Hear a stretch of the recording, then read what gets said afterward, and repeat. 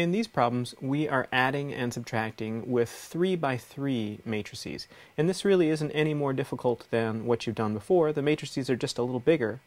And remember, when you add matrices, you're going to add the elements that are in the same place. So in this one, we've got A is this guy, B is this guy, and we want to find A plus B.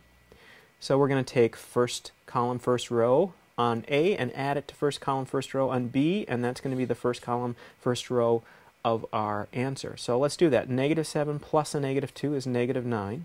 And I'm just going to go right across the rows. So the next element would be this negative 6 and negative 7. Add those together, you get negative 13. 4 and 3 is 7. Now we'll go down to the second uh, row here. 8 and 1 is 9. Negative 2 and negative 9 is negative 11. 6 and negative 4 is 2. And the, the last row, negative 3 and negative 5 is negative 8. 9 and 9 is 18, and 7 and 5 is 12. And that is your answer for A plus B. Let's just do one more here. Not too much harder. We're just finding A minus B, so we're going to subtract um, the elements that are in the same positions. So the first one would be 0 minus a negative 1. That's actually a positive 1.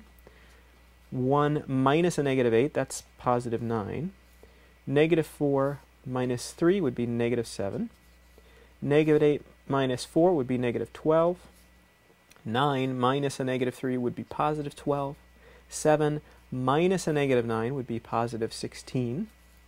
0 minus a negative 2, positive 2. Negative 9 minus a negative 4 would be uh, 5, negative 5.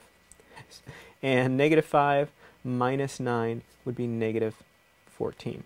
Hope I did that all right. You can check my work.